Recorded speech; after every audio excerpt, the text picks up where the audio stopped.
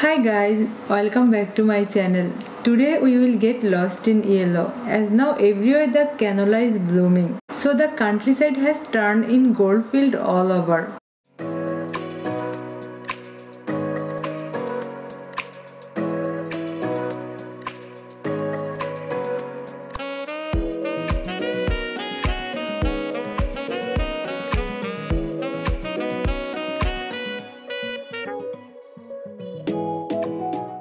It's so much fun to run in this breathtaking vista as the crops are bursting into flower. Canola is the main vegetable oil produced in Switzerland.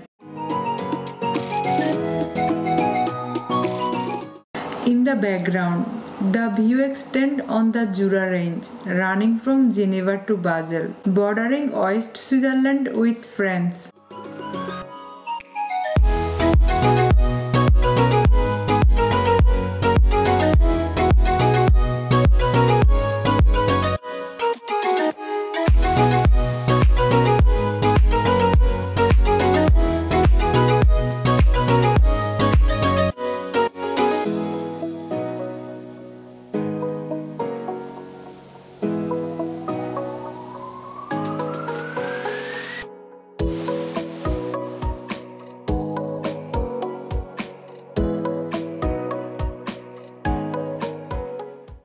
This crop is sharing with wheat, the Léman Basin extending between Jura and the Alps.